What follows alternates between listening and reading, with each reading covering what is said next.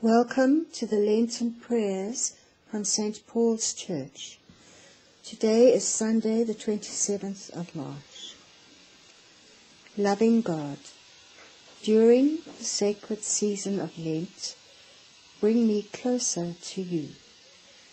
Prepare a place in my home and my heart for silence and solitude, so that I may rediscover the grace of a prayerful life.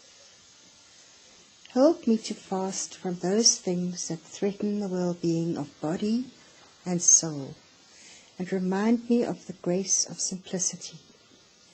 Enlarge my heart that I give to those in need, and in so doing rediscover the grace of gratitude and generosity.